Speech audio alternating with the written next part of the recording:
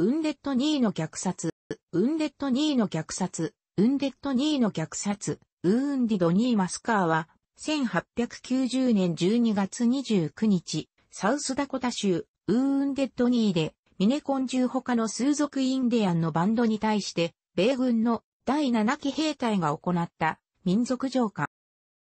この虐殺を白人側はウンデッドニーの戦いと呼び、虐殺を実行した第7期兵隊には名誉勲章まで授与されている。しかし、インディアン側ではこれをビッグフット一行に対する虐殺呼んでいて、インディアン戦争の象徴にもなっている。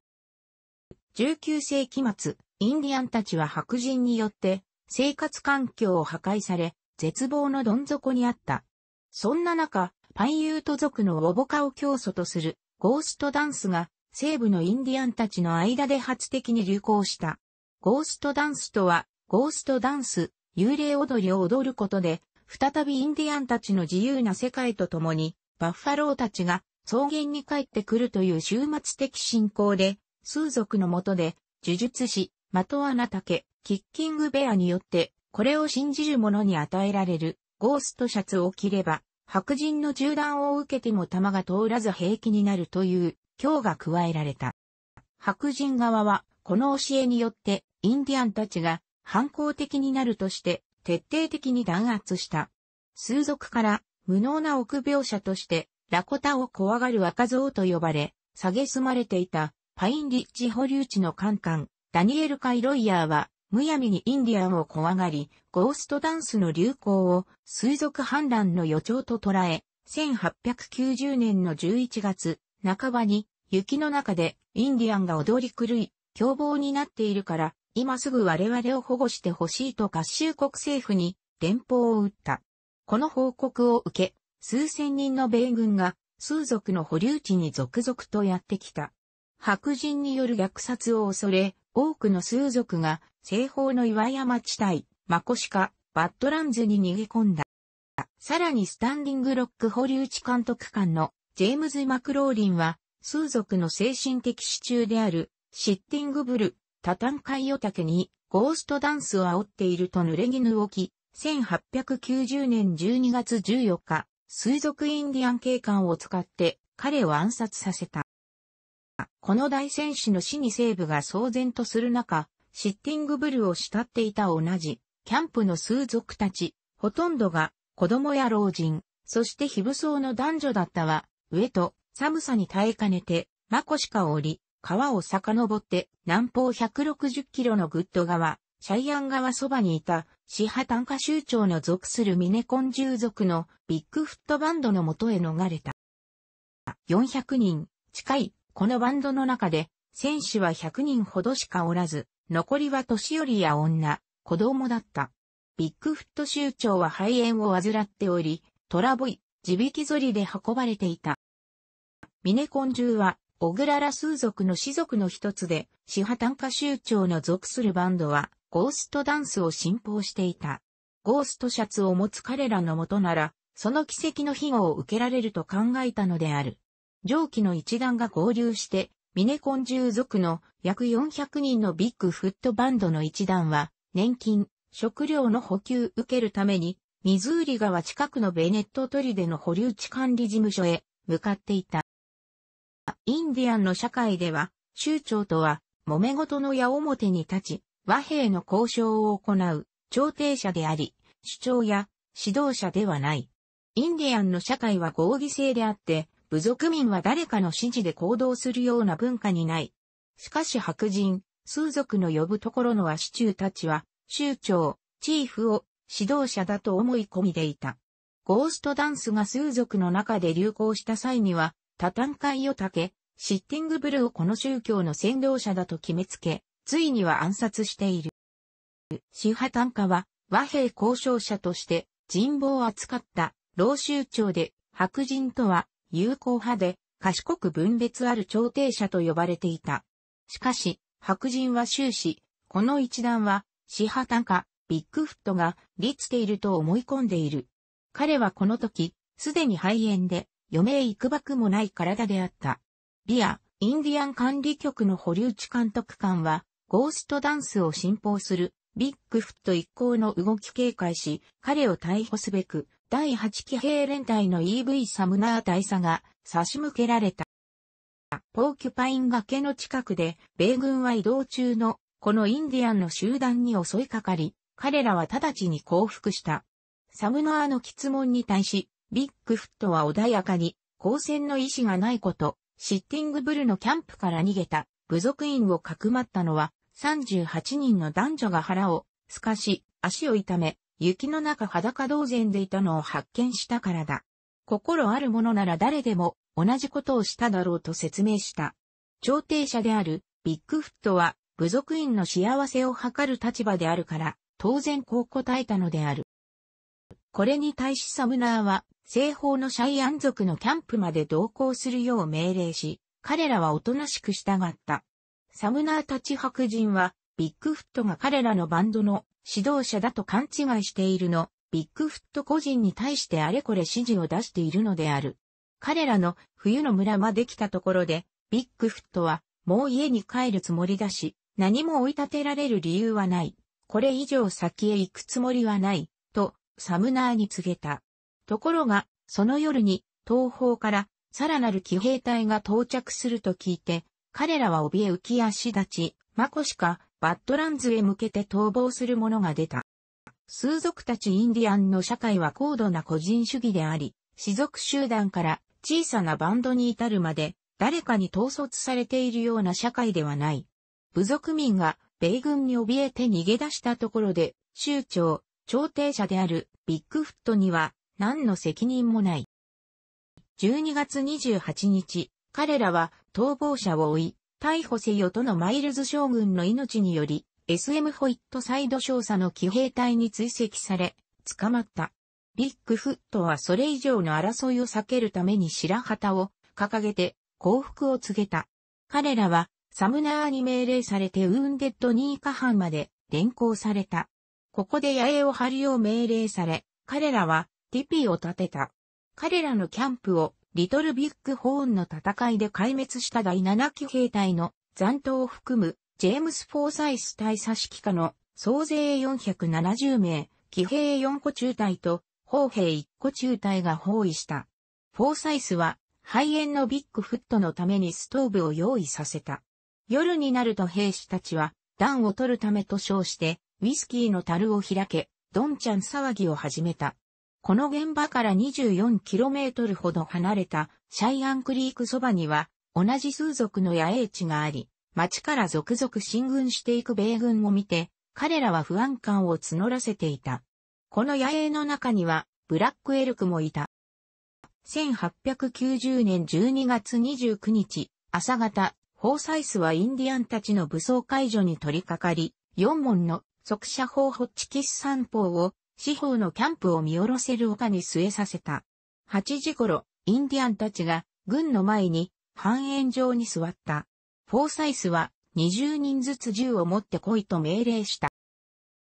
生き残りの一人、ドックチーフによれば、彼らの銃や武器は、ビッグフット州長の TP の横に積み重ねられた。が、まだ武器を差し出していない戦士がおり、フォーサイスは兵士に命じ、ティピーに押し入って無理やり銃を探させた。寝ている女の毛布を剥がす者もいた。この両辱行為に人々は怒り、キャンプは一触即発の緊張状態となって、睨み合いとなった。イエローバードという戦士ともう一人の戦士が、ビッグフットの TP の前に立っており、二人とも体に白いシーツを巻きつけ、目だけ覗かせていた。彼らはシーツの下に銃を隠し持っていた。カズトの白人士官が、この一人から銃を取り上げ、イエローバードからも銃を奪おうとしたとき、揉み合いになった。この時、銃が誤射され、白人士官を射殺してしまった。ドッグチーフは、そばで一部始終を見ていたが、完全な事故だったと証言している。これをきっかけに、ついに米軍はインディアンに対する無差別に虐殺を開始した。無抵抗の病人のビッグフットは、間もなく TP に押し入った兵士に頭に弾を撃ち込まれて殺された。兵士たちの多くは、まだ、夕べ飲んだウイスキーが頭に残っていた。軍は、丘の上から、速射ホッチキス三方で無差別砲撃を加えた。さらに新鋭のスプリングフィールド銃で馬も犬も子供も狙い撃ちし、皆殺しにした。100人弱の戦士たちは没収された銃を手にするまでは、すでに虐殺者たちと戦った。イエローバードは銃を取って TP に立てこもり、白人を狙い撃ちした。TP に火が放たれ、全身に銃弾を浴びるまで勇敢に戦った。銃、砲弾の降り注ぐ中、インディアンたちはそれでも3キロばかり逃げたが、負傷のために、そこで力尽き、倒れていった。部族員のほとんどが武器を持たず、それを四方から取り囲んだ兵士たちが銃撃した。白人は29人死んだ。白人側の負傷者は39人だった。カスターの部下だった士官もいたが、彼は味方の攻撃の巻き添えを食って死んだのである。それほどまでの凄まじい無差別銃撃だった。ホッチキス三砲は1分間で50発の弾を吐き、2ポンド分の弾丸の雨を降らせた。命あるものなら何でも手当たり次第になぎ倒した。この子供に対する3キロ余りの追跡業は虐殺以外何者でもない。幼子を抱いて逃げ惑う者まで打ち倒された。動く者がなくなって、ようやく銃声が止んだと、兵士の一人は回想している。また、これまでの人生で、この時ほど、スプリングフィールド銃がよくできていると思ったことはないと、ある白人士官が言葉を残している。血のみ子もたくさんいたが、米兵はこれも無差別虐殺した。この幼子たちが体中に弾を受けてバラバラになって穴の中に裸で投げ込まれるのを見たのでは、どんなに石のように冷たい心を持った人間でも、心を動かさないではいられなかったと、埋葬隊の一人は言葉を残している。この無差別虐殺は、発生直後にその方がシャイアンクリークの野営にも届き、直ちに20機ばかりの数族戦士団が虐殺現場へと馬で駆けつけた。米兵は彼らに発砲したが、すぐに退却した。救援の戦士団は、ワゴン砲の砲撃でバラバラになった、たくさんの死体を見た。こと切れた母親の胸で、父を吸おうと泣き叫ぶ赤ん坊もいた。死んだ母親のショールにくるまって生きていた赤ん坊が3人いた。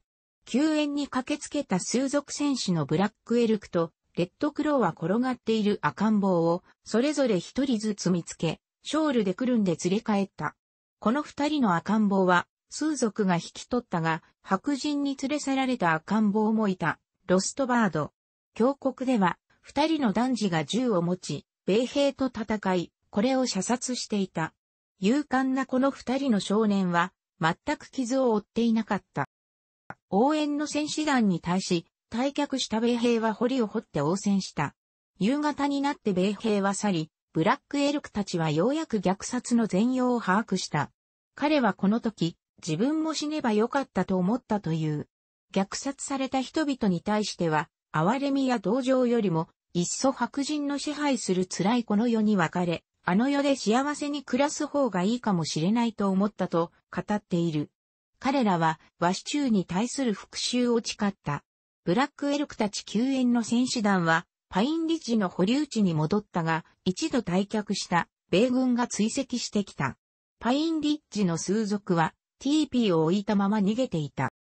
12月30日の朝、ブラックエルクたち保留地の数族はウーンデッドニーに向かった。ホワイトクレークリークのそばのキリスト教伝道所の近くですでに数族同胞による戦闘は始まっており、両岸に待機した数族は川沿いに下ってくる、米兵を攻撃していた。伝道所の白人理想たちは、負傷した数族の手当てをしてくれた。数族の攻撃は米兵を圧倒し、これを全滅させる勢いだったが、この後、黒い和支中、黒人兵の一団が加勢してきて、結局数族は退却した。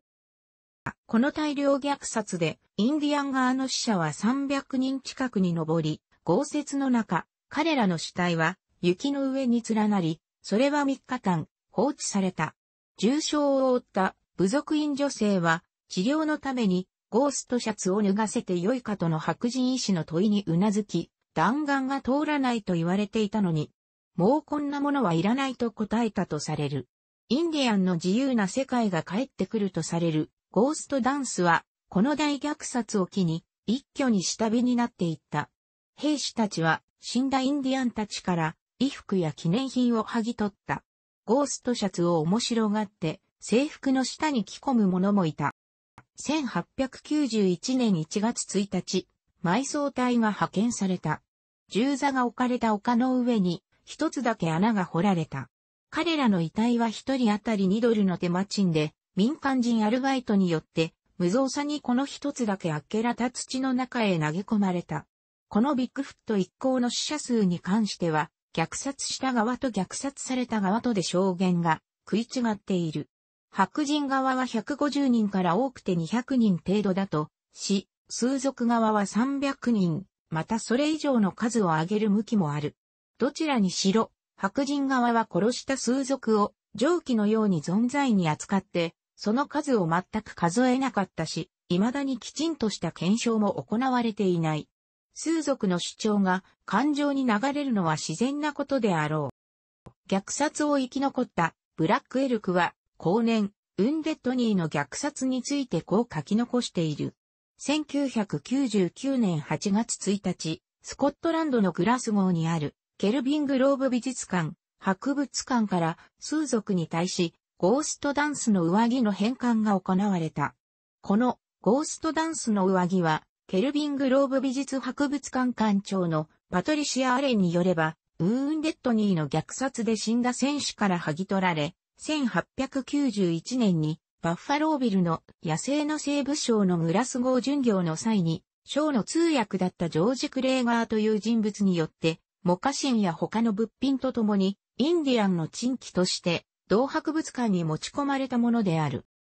1992年9月、英国ツアー中に当博物館を訪れ、これを発見したジョージア州ウッドストックのインディアン、弁護士、ジョン・アールによって、この遺品の数族に対する返還要求が起こされた。同博物館では、当時、コロンブスによるアメリカ発見500周年記念展示として、マクミランギャラリーでゴーストダンスの上着が展示されていた。R は帰国後、数族の遺族会にこれを報告し、アートギャラリーと博物館を管轄するグラスゴー地区議会の管理部門までたどって、ジュリアン・スポールディング館長に手紙を書き、正式に博物館側に遺品の返還を要求。しかし博物館はこれを拒否した。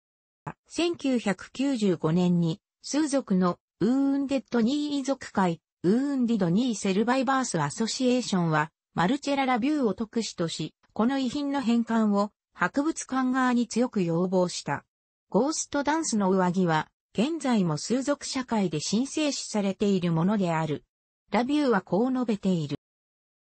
しかし、グラスゴー博物館は、これがアメリカ本土以外ではここにしかない希少品であり、英国の市民にゴーストダンスとウーンデッドニーの虐殺の歴史を教育するのに欠かせないものとて、ここに保管されるべきであると主張。1997年春には、このゴーストダンスの上着だの虐殺遺品は、グラスゴーで小学生教育のための展示会に出展された。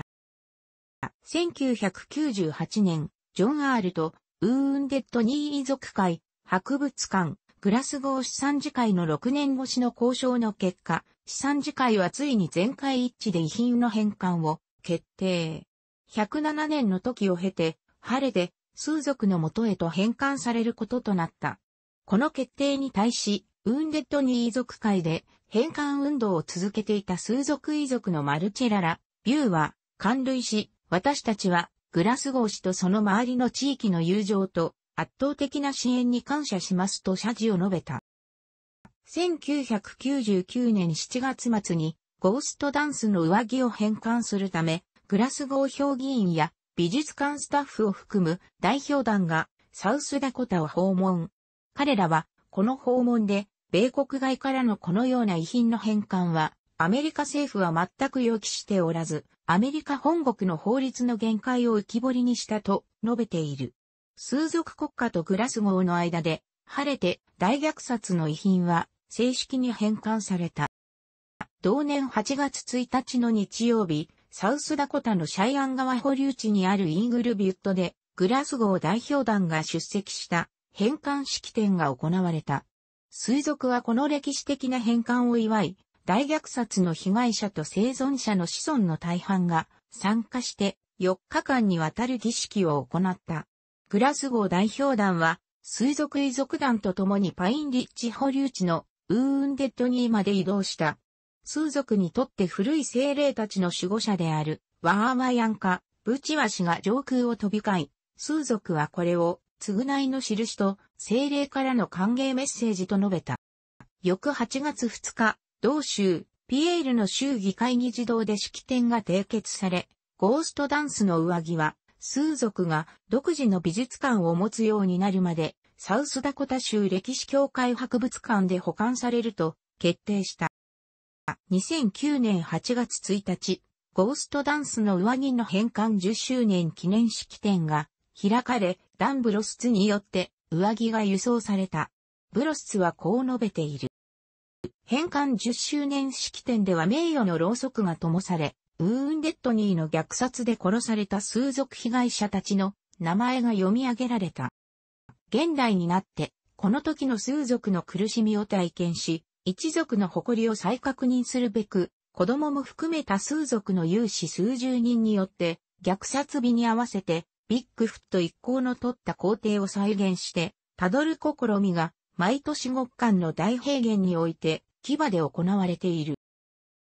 楽しくご覧になりましたら、購読と良いです。クリックしてください。